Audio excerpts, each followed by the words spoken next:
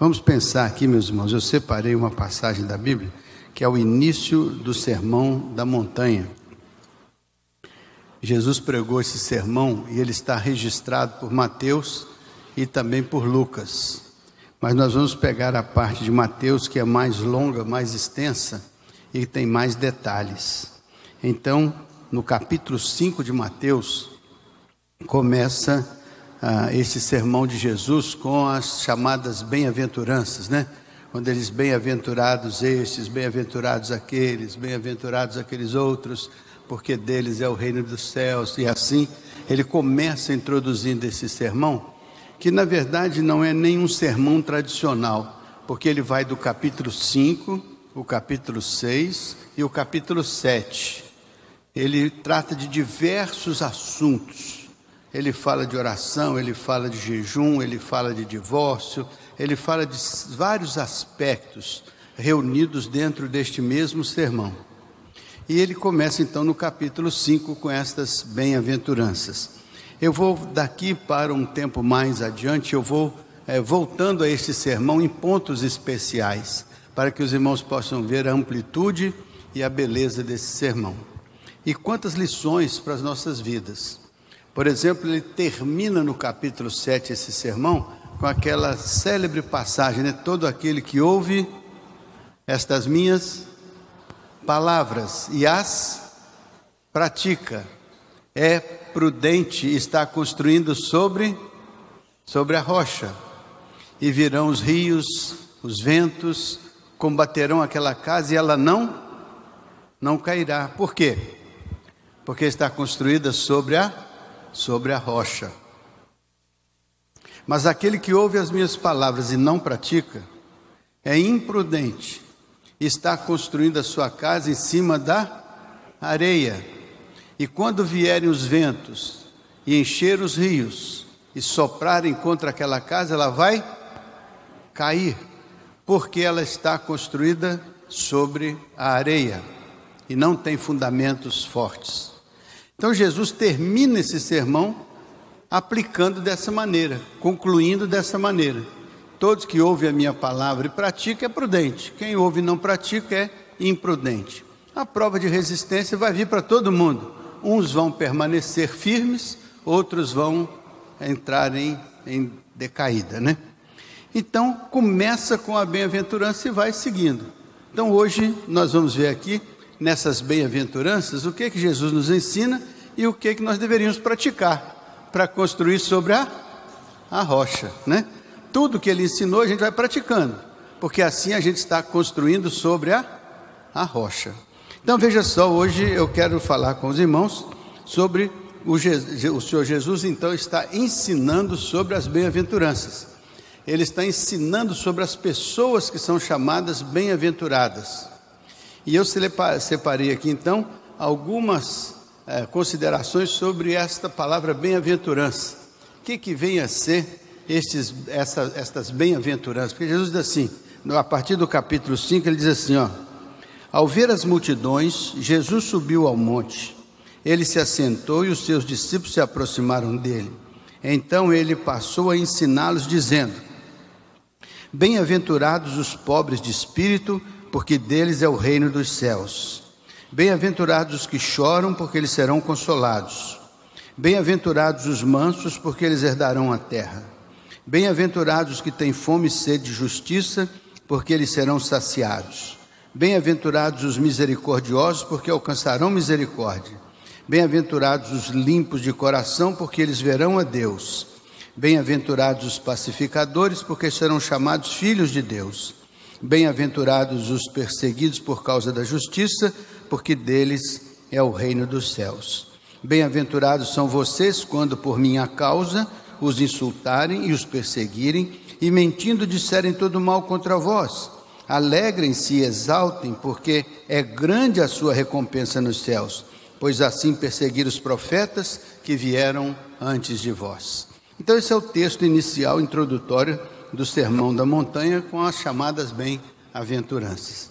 Então vamos começar por dizer: felizes ou bem-aventurados, ou abençoados, ou felizes, são aqueles de espírito humilde, quebrantados de espírito, são aqueles pobres de espírito.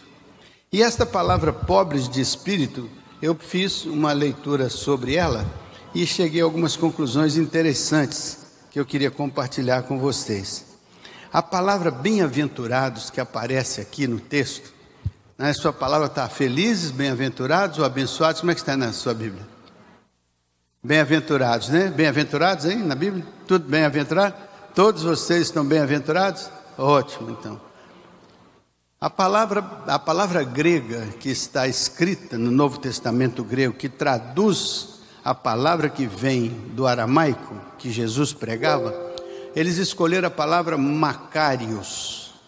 Então, bem-aventurados é Macários. Esta palavra ela tem um significado especial na Bíblia. Por isso que eu vou estudar um pouquinho com os irmãos, para os irmãos entenderem o que é essa bem-aventurança. Como é que apareceu esse negócio de bem-aventurança aí na introdução do sermão de Jesus? A palavra Macários, então, ela pode, ela pode ser a conjunção de dois entendimentos diferentes. Porque para os gregos havia dois tipos de pobre. Porque aqui a palavra é pobre de espírito. Então, quando a tradução foi feita, eles podiam escolher do grego uma palavra ou outra palavra, porque todas as duas significavam pobre, dependendo de quem estava traduzindo, dependendo de quem estava interpretando para poder fazer a tradução. Porque quando você faz a tradução de uma palavra, você certamente interpreta o significado da palavra, né? Como é que você vai traduzir a palavra né, que está lá no aramaico para o grego? Como é que você vai traduzir? aquela que está lá em hebraico para o grego. Então você pode escolher dentro do grego alguma palavra que retrate o conteúdo daquela palavra que está no original, certo assim? Então, muito bem. Esta palavra, no grego, esta palavra Macários, tem uma frase que o Dr. William Barclay utilizou para explicar esse conceito. A palavra é Ciprus re Macária ele escreveu uma frase: Cipros, rei Macário. O que, que significava isso? Cipros é o nome de uma ilha. E era uma ilha considerada uma ilha da felicidade. Então a palavra Macários aí, Macária, é traduzida aí da, do grego mesmo para explicar que aquela ilha era chamada uma ilha da felicidade. Então, bem-aventurados aqui pode ser também traduzido por felizes. Felizes aqueles que. Então a Bíblia, ao chamar a gente de bem-aventurado, também está chamando a gente de, de feliz. Então Jesus está dizendo: oh, vocês são felizes. Mas a palavra felicidade ela é interessante, porque felicidade não é a ausência de problemas, não é a ausência de dificuldades. Felicidade é quando você se sente abençoado a despeito das situações ao seu redor é quando você se sente internamente bem-aventurado por estar vivendo o que você está vivendo.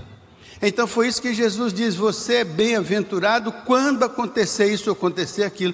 Mas não é porque está acontecendo aquilo, é porque você, ao enfrentar essa situação, você é um bem-aventurado. Não é bem-aventurado porque aconteceu, é bem-aventurado porque é capacitado a enfrentar é capacitado a passar por essa situação. Sabe por que, que você é capacitado? Porque tem um outro elemento na frente da palavra de Jesus. Então ele diz assim: bem-aventurados ou felizes aqueles que são pobres de espírito. Por quê? Porque eles, porque o quê? Capítulo aqui? Porque de espírito, porque deles é o então você é feliz não é porque você é pobre de espírito, você é feliz porque o reino de Deus é seu.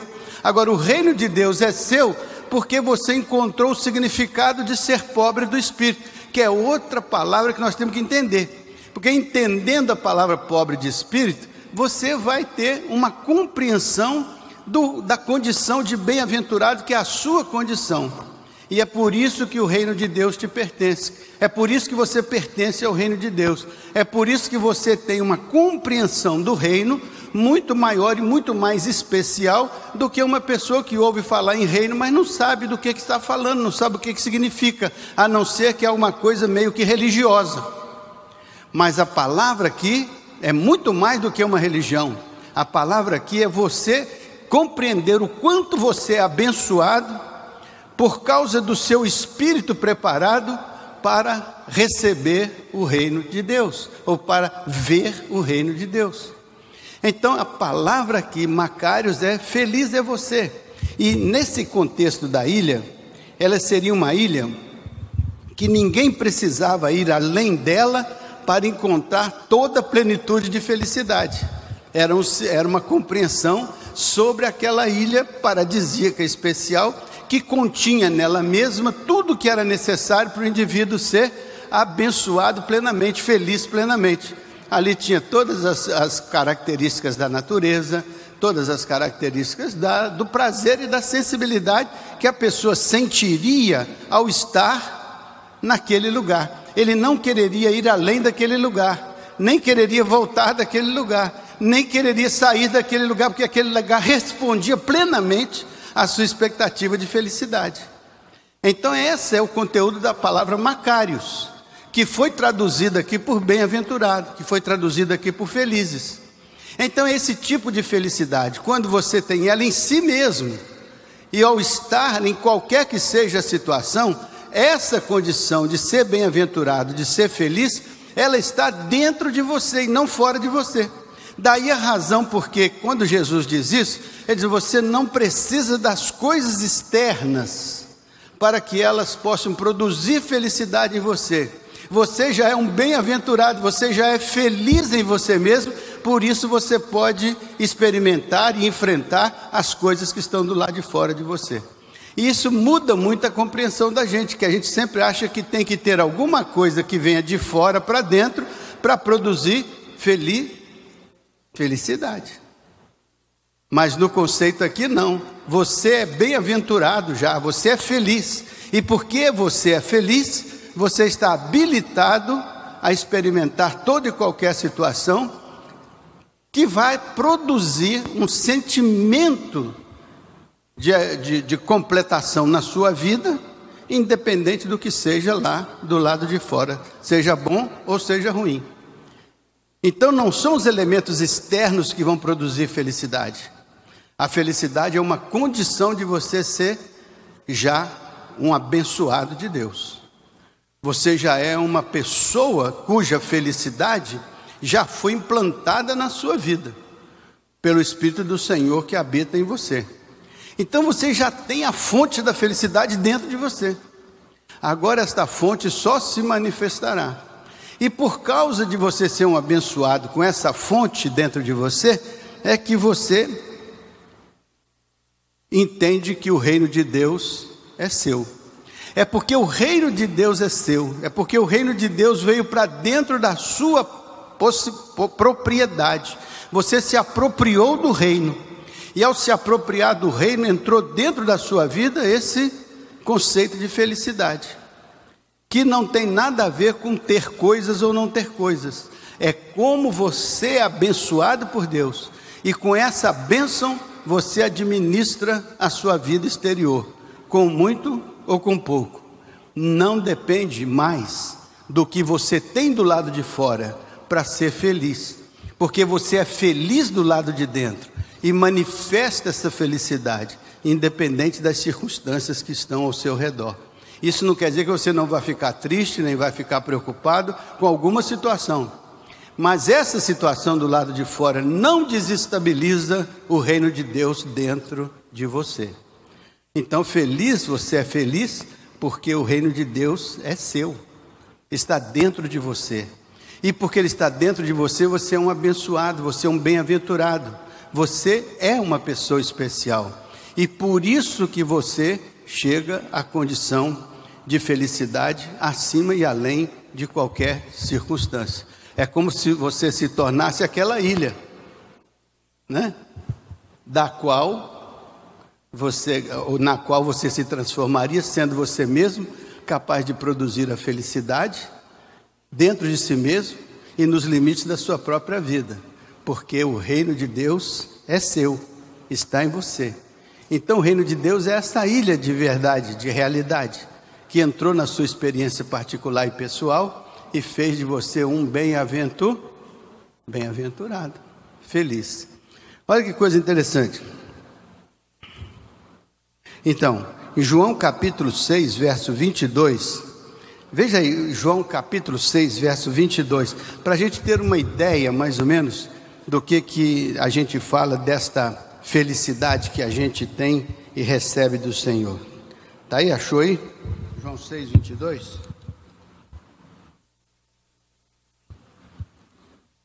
Deixa eu ler para vocês aqui.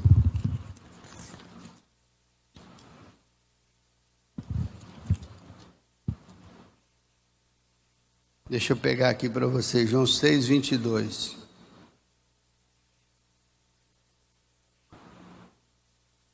Acho que eu estou com, com a.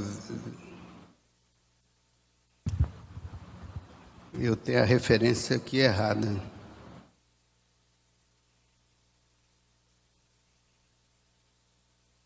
Quem tem aí um celular, uma internet, é ninguém pode tirar a sua alegria. Bote aí para você me ajudar a localizar esse versículo. Nin... Hã? Ah, 16, 22. Então eu anotei errado aí. Obrigado. 16, 22. Vamos ler juntos aqui. Deixa eu abrir aqui. João 16, 22. Não é?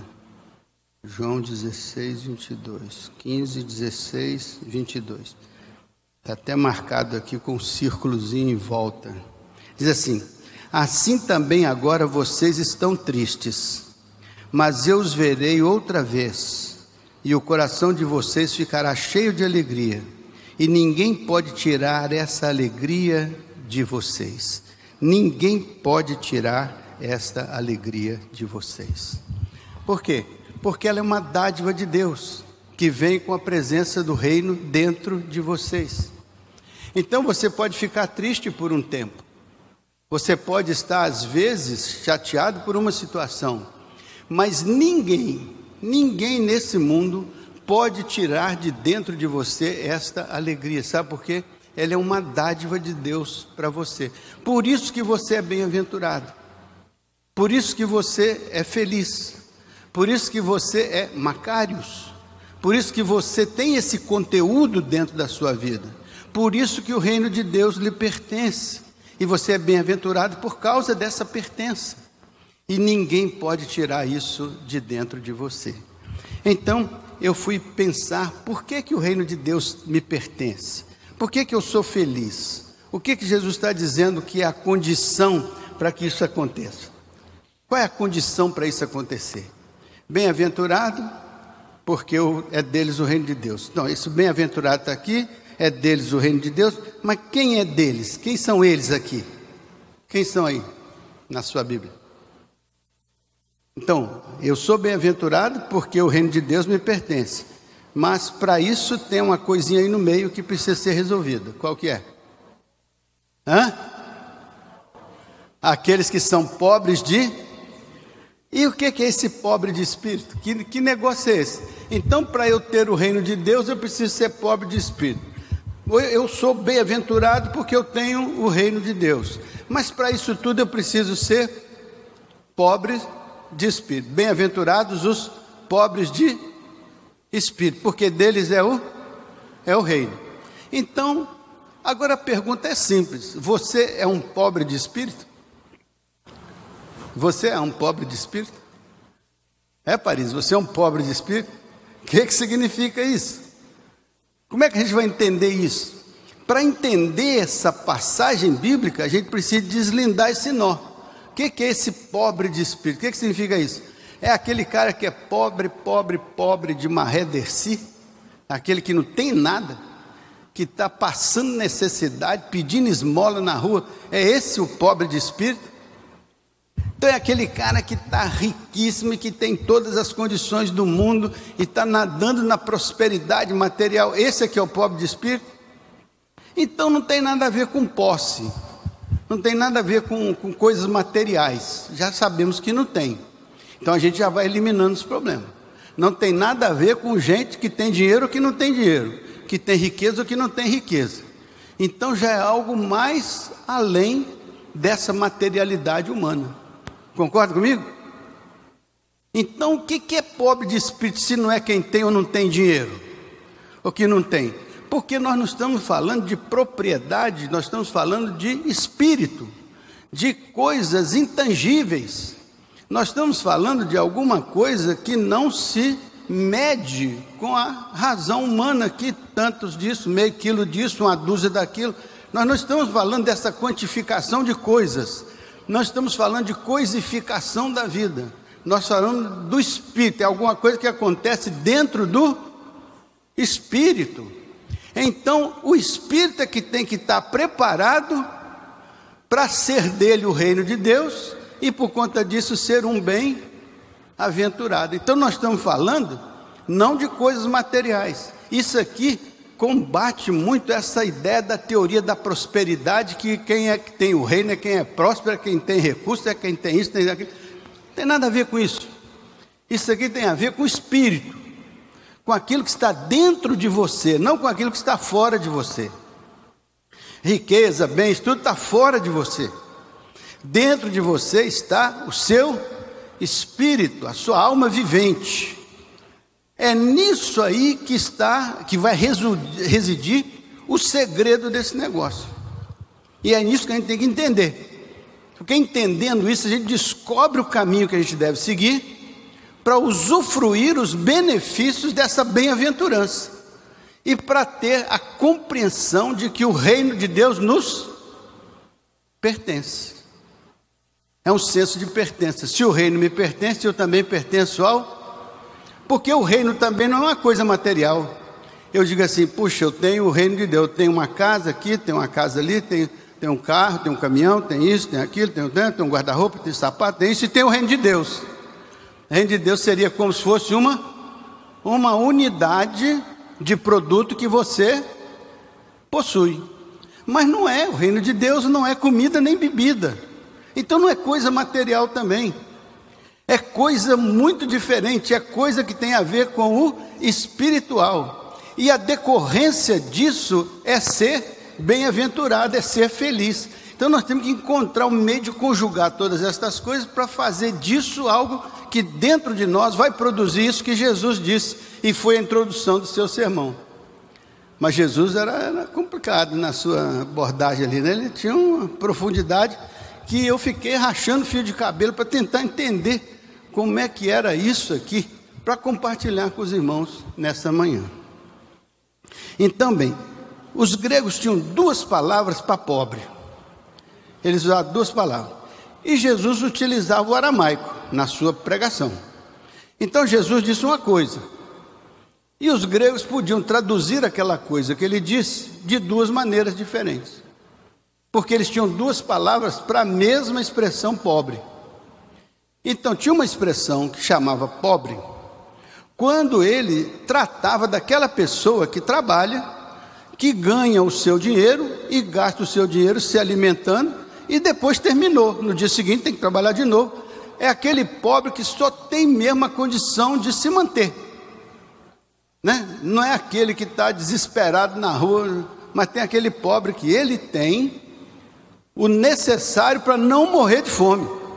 É pobre, mas está ali se mantendo, pelas tabelas, mas está se mantendo. Então havia uma palavra para esse tipo de pobre.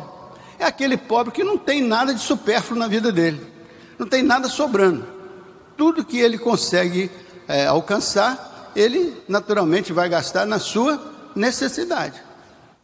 Na escala de valores do Maslow, ele poderia estar no primeiro degrau. Primeiro degrau é a necessidade de você comer, senão você morre de fome. Então, comer é a primeira necessidade. Então, você tem que arranjar recursos para você comer. A segunda necessidade é segurança, proteção. Você precisa ter um lugar para morar. Você vai morar debaixo da ponte. Aí você já está em perigo, já está em risco. Então, segunda necessidade. Então, o pobre é aquele que conseguiu, pelo menos no primeiro degrau, está conseguindo comer, mas é pobre, não tem nada além disso. Então, é uma palavra para esse tipo de pobreza, né? Esse chama-se penês, significa aquele que só trabalha para viver. Se ele, ele tem que trabalhar todo o tempo para viver, senão esse é um tipo de pobre, um tipo de pobreza. Mas tinha uma outra palavra. Essa palavra é pitochos, que quer dizer uma pobreza que está escrita lá e ela tem um significado muito diferente dessa que nós acabamos de ouvir. Essa palavra, ela está no original grego. Foi com essa palavra que eles traduziram a palavra de Jesus. E a palavra de Jesus no aramaico, ela é ebion. É um, então, quando Jesus pregou isso, ele falou assim: Bem-aventurados os ebions, usando a palavra dele. O grego foi lá, pegou essa palavra e traduziu por petchos. Entenderam assim? Então, quando ele traduziu isso, então a gente, para entender, precisa entender o que, que essa palavra petchos quer dizer. O que, que ela quer explicar. Então, eu fui lá atrás de ver o significado disso. Isso significa absoluta pobreza. É mais pobre do que aquele que tem o que comer e o que vestir. Então, esse é aquele que tem uma pobreza tal que ele não tem. Aí eu fui lá ver se ele não tem. Ele não tem honra, ele não tem respeito, ele não tem dignidade, ele não tem quem, quem se interesse por ele. Ele é realmente um indivíduo fora de qualquer situação que possa dar para ele uma identidade ou uma singularidade. Ele é um indivíduo perdido no meio social, no meio da sociedade, é perdido. É uma pobreza desse tipo. Mas essa pobreza é pobreza por quê? Porque ele perde toda e qualquer ideia de que ele pode fazer algo por si mesmo para que ele possa cumprir sua necessidade básica. O que, que significa isso? É um indivíduo que está à mercê do cuidado social, que está à mercê da esmola, que está à mercê de alguém fazer alguma coisa por ele, porque se não fizer, ele morre. Ele está nas últimas. Então, esse aqui é aquele camarada ali, naquela situação. Então, quando Jesus usa essa palavra grega, essa palavra aramaica, diz assim: é um indivíduo sem nenhuma influência e sem nenhum poder. Quando Jesus usa essa palavra, ele está falando que é uma pessoa sem qualquer forma de ajuda, abandonada mesmo. Quando ele usa essa palavra, ele está falando sem poder e sem prestígio algum. Olha só que situação esse indivíduo que Jesus está falando. Você tem que ser desse jeito aí, pobre de espírito. É isso aí. A palavra que ele usou significa isso. Oprimido pelos homens. Então o indivíduo chegou no fundo do poço. Ele não tem nenhum suporte, ele não tem nada. A única coisa que ele tem, agora você vai entender o pobre de espírito. A única coisa que ele tem é poder colocar a sua confiança em Deus. Você entendeu? Humanamente falando, ele agora se, se, se entendeu como um indivíduo tão pobre, não pobre de coisas materiais, mas pobre de espírito. Pobre em todos os aspectos emocionais, espirituais da sua vida. Então ele se percebe perdido no mundo, abandonado, e ele descobre que ele só tem uma possibilidade: é que ele coloque a sua confiança em Jeová, Adonai. Se ele não tiver Jeová Adonai, ele está absolutamente perdido. Está absolutamente desamparado. Mas Jesus diz assim: quando você tem esta compreensão de que nada neste mundo significa tanto para você quanto você colocar a sua confiança em Deus, então você fica limitado de ver o reino de Deus. Porque Jesus assim: se você não se tornar como uma criança, você não pode ver o reino, você não pode perceber o reino. Se você não estiver disposto a deixar tudo e me seguir, você não pode, falou com aquele homem rico, você não pode ver o reino. Enquanto você estiver estribado no seu próprio entendimento, enquanto você estiver estribado na sua própria segurança pessoal material, enquanto você estiver estribado no que você pode fazer com as suas próprias mãos, você está aquém da potencialidade do reino para você. É uma coisa espetacular, não é não? É quando você de fato entrega a sua vida totalmente nas mãos de de Deus. É quando você chega a um ponto que você assim, eu não tenho mais nada que eu possa fazer. Só posso colocar minha confiança em. Então Jesus disse: o pobre de espírito é esse, que chegou nesse nível de compreensão que tudo que ele tem na vida e tudo que ele pode ter na vida que tenha valor é colocar a sua confiança em Deus.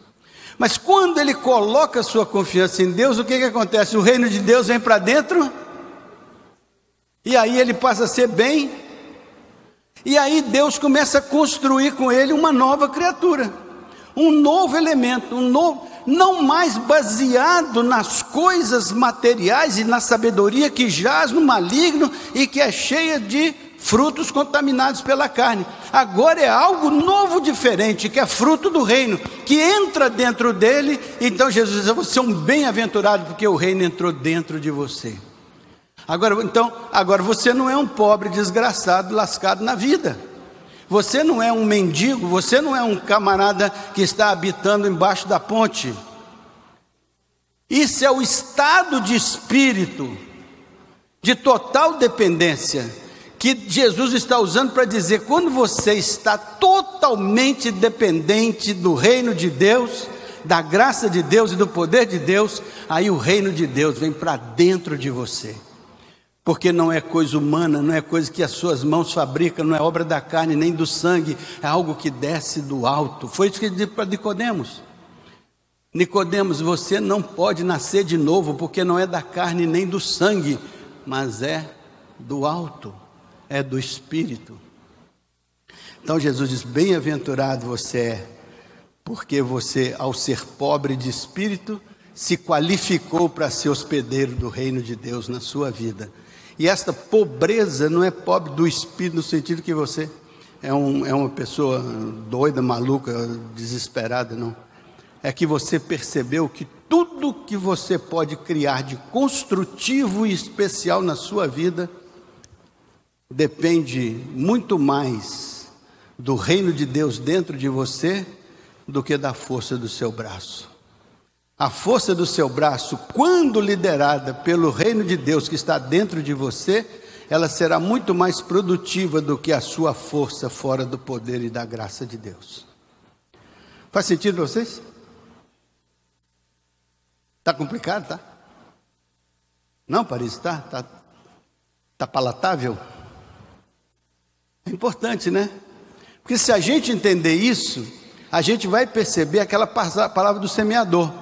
Quando Jesus Cristo disse que uma parte da semente caiu na terra boa, cresceu, mas os cuidados desta vida, a sedução das riquezas, a ilusão de que você pode administrar tudo independente de Deus, faz de você uma pessoa pobre mas não no sentido que Jesus Cristo diz, faz de você uma pessoa rica, digo, e não pobre no sentido que Jesus disse, que é quando você vê todas estas coisas e sabe que elas são transitórias, passageiras, a traça e a ferrugem consomem e que você precisa de algo de valor eterno, que é o reino que vem para dentro da sua vida. E ao vir para dentro da sua vida, te habilita a construir a partir desta fonte diferente por isso que Jesus diz: aquele que me aceita na sua experiência pessoal, rios de águas vivas descem. Ele pode estar morando no deserto, mas rios de águas vivas descem de dentro dele. É isso que faz a diferença. É qual a fonte que te alimenta, qual a fonte que te sustenta, de onde que você tira a energia da vida para viver neste mundo pia, sábia e justamente, como diz Paulo. Então agora nós aprendemos que Jesus, você é bem-aventurado. Você não será bem-aventurado, você é bem-aventurado porque é pobre de espírito, mas é pobre nesse sentido de que chegou à conclusão que de você mesmo você não pode produzir nada que seja de Deus, procedente de Deus. É a graça dele. Então você depende da graça dele. E quando a graça dele alcança a sua vida e entra na sua vida, então você já não é mais um pobre de espírito, agora você é um bem-aventurado. Você é um feliz. Você é um felizardo, porque você descobriu a fonte de toda a bênção. Fonte tu de toda bênção, vem meu canto inspirar. Não é assim? É isso que é. Fonte tu de toda bênção, vem meu canto inspirar. Então, para isso é preciso você se tornar pobre de espírito, ou seja, pobre no seu espírito, nos seus conceitos, na sua concepção, em tudo quanto você constrói como obra da carne. E permitir que o reino de Deus venha e traga para dentro de você o fruto do espírito, a sabedoria que vem do do alto. E aí você diz: "Puxa, eu pensei que eu era pobre de espírito". Mas essa só foi a condição para me tornar rico em Cristo Jesus, para me tornar bem-aventurado, para me tornar feliz. Então, essa é a introdução do sermão de Jesus. Bem-aventurados os pobres de espírito, aqueles que se destituíram de tudo que podia ser a sua capacidade de se autoconstruir e entregaram esse direito ao Senhor e o Senhor então se propõe a construir dentro da sua vida algo tão espetacular que ele chamou: tire o velho homem, que às vezes é rico em tantos conceitos e preconceitos. Tira esse velho homem, tira, e bota este novo homem, nascido do alto. Então, empobreça dessa carnalidade, empobreça dessa arrogância, empobreça-se dessa, ah, dessa prepotência, empobreça-se de tudo isso e torne-se humilde ao ponto de entender que só o Senhor é Deus e que é Ele que pode construir em você e dentro de você uma vida que tenha valor eterno. Faz sentido? Então vamos encerrar aqui louvando a Deus pela bênção disso aí, né? O Salmo 34 diz assim, ó, Salmo 30, leia, vamos ler aí o Salmo 34, que é interessante esse salmo, separei aqui para nós, 79, Salmo Salmo 34, você achou aí? Salmo 34. Achou aí o Salmo 34? Achou? Diga sim. Ótimo, então estamos juntos. Vamos ler o 34, versos 6 e 8. Olha o que, que diz aqui, ó. Clamou este aflito, e o sentido aqui é este pobre de espírito. Clamou este aflito, este pobre de espírito, e o Senhor o ouviu e o livrou de todas as suas angústias. Clamou este homem que estava distante compensado, que estava perdido, estava... e o Senhor ouviu. Verso 8: Provem e vejam que o Senhor é bom, bem-aventurado aquele que nele se refugia. Então, bem-aventurados os pobres de espírito, aqueles que se fizeram pobres de espírito, porque reconheceram a sua irrelevância diante da grandeza de Deus. Foi como Isaías naquele momento da adoração, né? Quando ele viu a grandeza de Deus, ele disse assim: Ai de mim, que vou perecendo, porque sou um homem impuro, de lábios impuros, habito no meio de um povo de impuros lábios, e os meus olhos viram um rei, minha vida está se afundando. O Senhor, espera aí. Então um anjo lá restaurou a sua sorte, trouxe para perto, perdoou, lavou, limpou, purificou. E depois disso, diz a Bíblia, que ele ouviu a voz do Senhor que dizia: e agora quem há de ir por nós? E ele disse: Eis-me aqui, eu, eu estou junto com o Senhor. É nesse momento que o reino de Deus vem para dentro da vida da gente. É nesse momento que o divino entra na nossa humanidade. Quando nós ficamos pobres da mundanidade do mundo e nos enriquecemos da graça e do poder de Deus. A Bíblia diz que nós vamos ser bem-aventurados. A Bíblia diz que nós vamos ser hospedeiros do reino de Deus. Eu e meu Pai viremos para vós e faremos em vós morada. Mas é preciso destituir-se do velho homem, esta pobreza do espírito lançada fora para receber o Senhor dos Senhores, o Rei da Glória, que estabelecerá seu trono em nossos corações em nossas mentes. Bem-aventurados, bem-aventurados os pobres de espírito segundo este mundo, porque serão grandiosos no reino de Deus. Que Deus nos habilite a compreender que não é pela nossa força, não é pelo nosso orgulho, não é pela nossa prepotência, não é pelas nossas supostas qualidades, mas é pela graça de Deus que o reino de Deus vem para dentro de nós e nos transforma em cidadãos do reino e nos faz astros luminosos no meio de uma geração perversa e corrompida. Deus nos abençoe. Amém, meus irmãos?